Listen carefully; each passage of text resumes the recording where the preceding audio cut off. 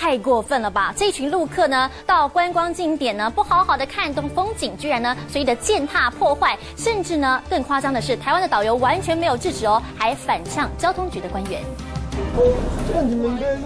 红彤彤的人民币非常神奇的往上飘，陆客觉得好有趣，拿起保特瓶一丢也往上飘走，最后连烟蒂也丢进去。这是台东知名景点水往上流，几乎要变成了垃圾往上游。啊，垃圾啦、烟蒂啦等等的这样的问题，他肆意的在啊违反了这样的规划路径或者任意的啊采采集这个花木的话，我们会依照观光发展条例相关规定呢来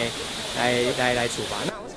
说要开罚，五号交通部官员正好到台东景点水往上流，遇上了陆客团，直接看到陆客站上了边坡践踏景点，导游不但不劝阻，还拿起相机帮忙拍照。官员上前阻止，但王姓导游气焰嚣张，还回呛：“官员了不起哦！”一旁黄姓导游也加入了战局，狂呛。官员退到旁边，想避免冲突，但是两位导游还是拼命的叫嚣，态度恶劣。导规劝游客，那我们导游会在这边去监督客人在这边拍照的时候，是不是有去违法的行为，比如说乱丢烟蒂，或是花草丛中去折道，或是过马路的危险性，我们都还是去监督他。